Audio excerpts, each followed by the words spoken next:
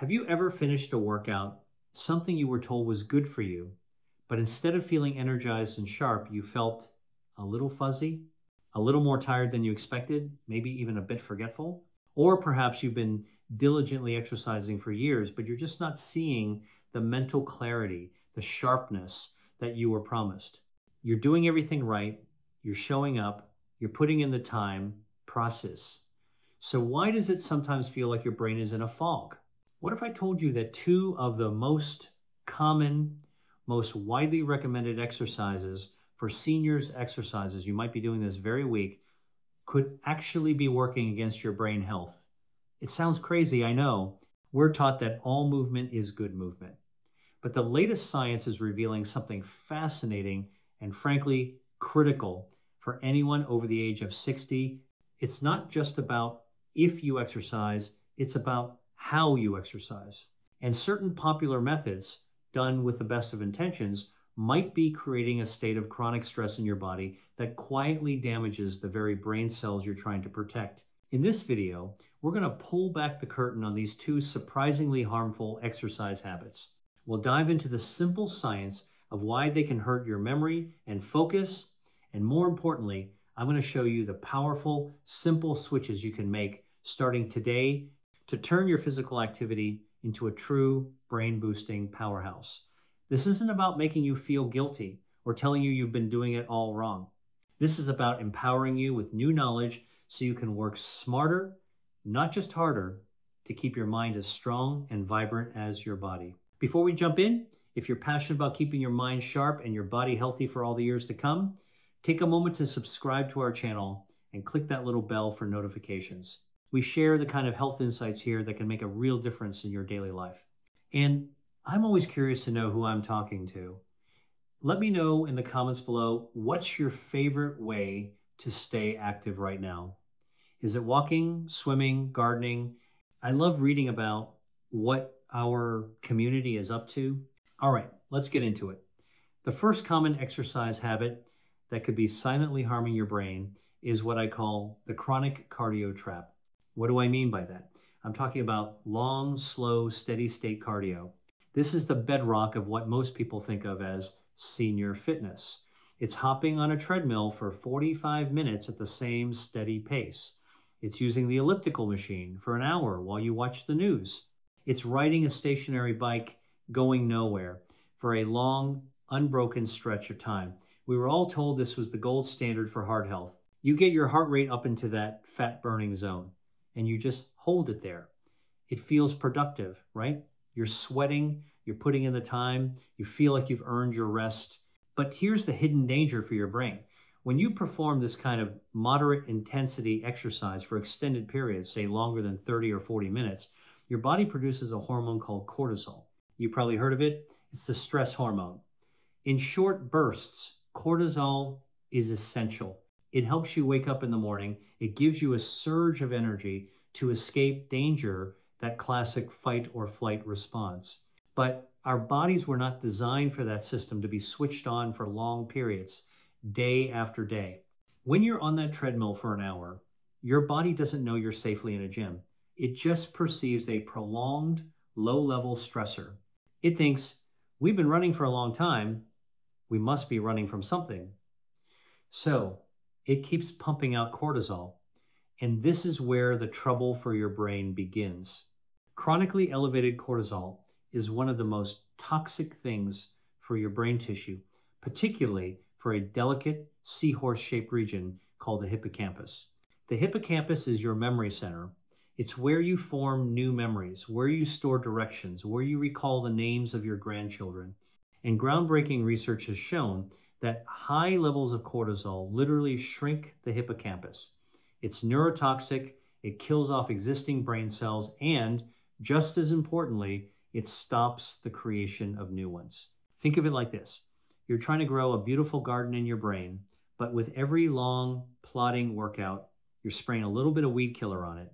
You're causing chronic, low grade inflammation in the very organ you're trying to keep healthy. Have you ever felt that? You finish a long workout, you get home, and you can't remember what you needed from the grocery store. Or you walk into a room and completely forget why you went in there. We often chalk that up to being tired from the exercise, but it can be a direct symptom of that cortisol induced brain fog. Your brain is literally struggling to function optimally because it's been bathed in stress hormones. A study published in the journal Neurology looked at over 2,000 middle aged adults and found a direct link between higher cortisol levels and poorer memory and even visible brain shrinkage on scans. The people with the highest cortisol levels performed worse on memory, organization, and visual perception tests. Their brains were quite literally aging faster.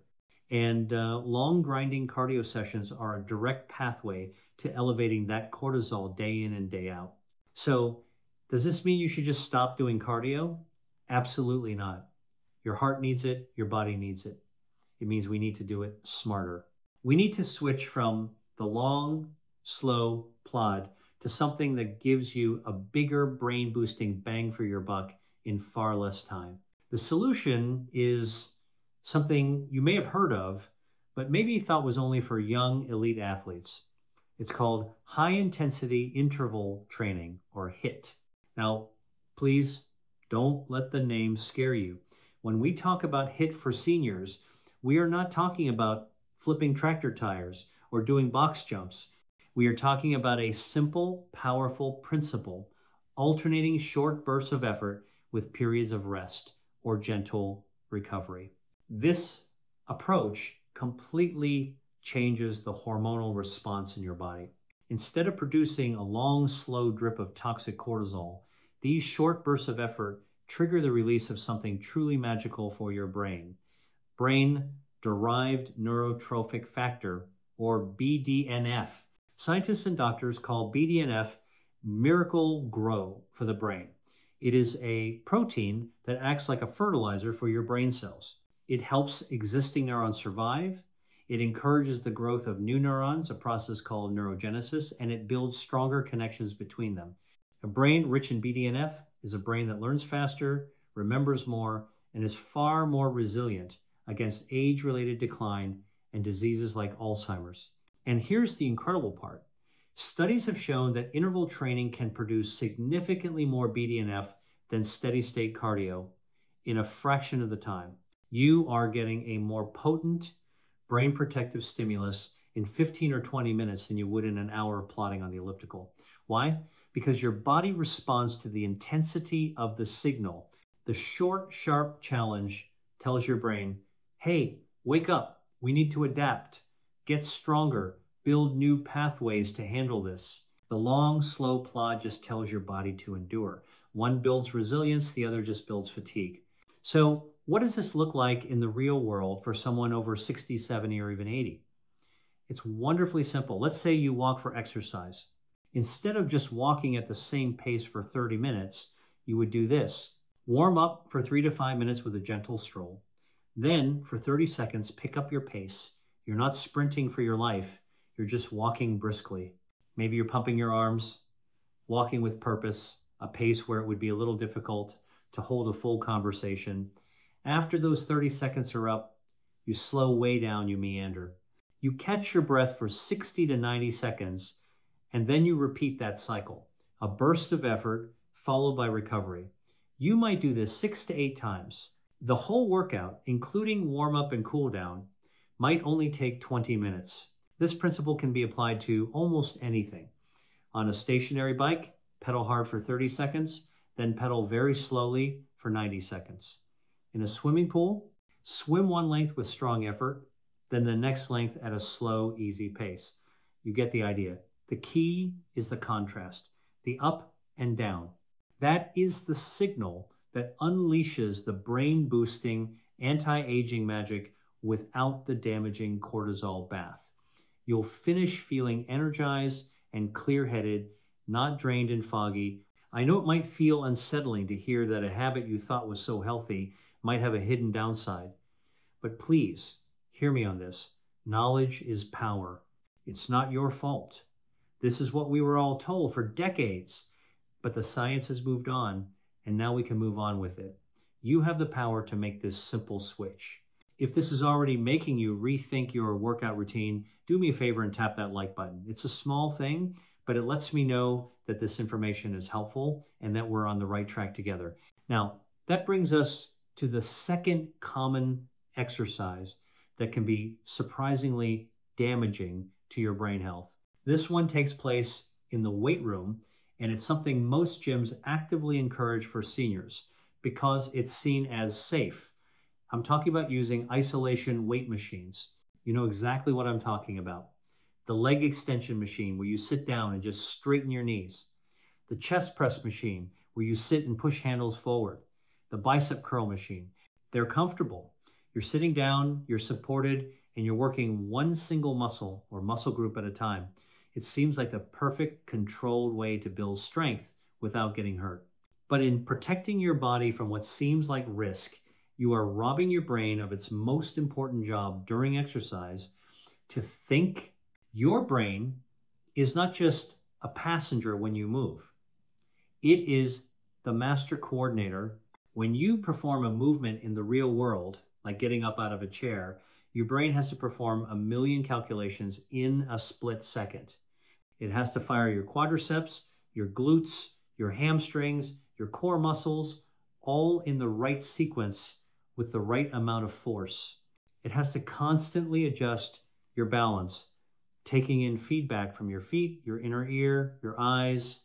It has to coordinate your entire body to work as a single harmonious unit. This complex dance of coordination and balance is a phenomenal workout for your brain. It strengthens neural pathways and keeps your cognitive processing fast and efficient. Now, think about what happens when you sit down at a leg extension machine. You've locked your body into place. The machine dictates the path of movement. Your brain's only job is to send one simple signal straighten the leg. That's it. There is no balance required, no coordination between muscle groups, no stabilization from your core, you have effectively taken your brain out of the equation. It's what I call mindless muscle work. You might be building a little bit of strength in your quadriceps, but you are completely missing the opportunity to build a stronger, more connected, and more resilient brain. Aging well isn't just about having strong muscles. It's about having a brain that knows how to use those muscles effectively in the real world. This is what we call functional strength.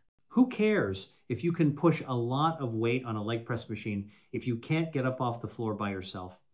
Or if you don't have the balance to step off a curb without fear of falling? Falls are one of the biggest threats to independence for seniors, and falls are a failure of the brain body connection. They are a failure of balance and coordination, the very things that isolation machines ignore. Furthermore, these machines can often put unnatural stress on your joints. The leg extension machine, for instance, is notoriously hard on the knee joint because it places a shearing force on it that your knee was not designed to handle. So, not only is it a poor exercise for your brain, it can actively contribute to the joint pain that might make you less likely to move at all. So, what's the brain boosting alternative? It's simple we trade the mindless machines for smart, functional movements that force your brain and body to work together as a team. And you don't need a fancy gym to do it. The king of all functional exercises is the simple squat. But I'm not talking about loading a heavy barbell on your back. I'm talking about a chair squat. Stand in front of a sturdy chair with your feet shoulder width apart.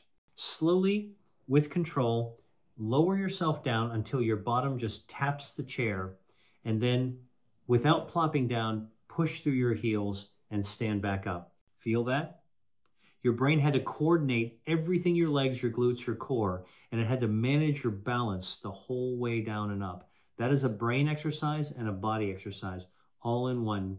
As you get stronger, you can do it without the chair, just squatting down as low as you comfortably can. Instead of a seated machine row, grab a simple resistance band, anchor it to a doorknob, Stand with your feet planted, core engaged, and pull the band towards you, squeezing your shoulder blades together. Now, your brain has to stabilize your entire body against the pull of the band. It's working so much harder and so much smarter. Instead of a leg curl machine, try a simple standing balance exercise. Stand near a wall or counter for support and just lift one foot off the ground for 30 seconds. Feel all those tiny muscles in your standing leg and foot firing away? That's your brain making thousands of micro adjustments to keep you upright. That is infinitely more valuable for fall prevention and brain health than any machine. Another fantastic one is the farmer's walk. Just pick up something with a bit of weight in each hand. It could be grocery bags, small dumbbells, or jugs of water and walk across the room. This simple act teaches your brain to maintain posture, grip, strength, and coordination under a load, which is exactly what you do in daily life. The goal is to choose exercises that look and feel more like real life. Movements that involve standing on your own two feet, engaging your core, and challenging your balance, even in a small way. Every time you do this, you're not just strengthening your muscles, you are reinforcing the vital communication lines between your brain and your body, keeping them fast, clear, and efficient. You're building a brain that is quick to react, stable, and confident in its ability to navigate the world. So, let's quickly recap the two big brain boosting shifts we're going to make. First, we are swapping out the long, slow cortisol producing cardio for short, sharp, brain fertilizing intervals. Less time, more benefits, more energy, less brain fog. Second, we are ditching the mindless isolation machines and embracing smart, functional movements that challenge our balance and coordination. We're choosing exercises that force the brain and body to be true partners, building real world strength that keeps us independent and safe it might feel like a lot to take in, but remember, this is not about a total overhaul overnight. It's about making small, intelligent changes. Maybe this week you just try adding a few 30 second bursts of speed to your daily walk. Or maybe you trade just one of your machine exercises for a set of chair squats. Every single smart choice is a deposit in your brain bank, an investment in a future where your mind is clear, your memory is strong, and your body is capable. Growing older is inevitable, but growing weaker and foggier is not. It's a choice. And by using smarter strategies like these, you are actively choosing a path of strength, vitality, and mental clarity. I know it can be hard. I know some days the joints ache and motivation is low, but you are not alone in this. And it is never, ever too late to make a change that can profoundly impact your quality of life. Imagine being able to remember names and dates with ease, to play with your grandkids without getting exhausted, to navigate your life with confidence and independence. That is what we are fighting for, one smart workout at a time. Now, I would absolutely love to hear from you. Which of these two exercise types were you most surprised to learn about? Have you been doing long cardio sessions or using weight machines? And more importantly, what is one small, smart change you are excited to try this week after watching this? Please share your thoughts and questions in the comments below. I read them all, and your experiences help our entire community learn and grow together. If this video opened your eyes or gave you a new sense of hope and control over your health, please hit that like button. It means the world to me, and it helps this vital information reach other seniors who need to hear it. And if you haven't already, make sure you subscribe and click the notification bell. We're on a mission here to rewrite the story of aging, and I want you right there with me for every step of the journey. Thank you so much for your time and your trust today. Remember, every smart step you take, every mindful movement you make is a powerful declaration that you are in charge of your health. Stay strong, stay sharp, and I'll see you in the next video.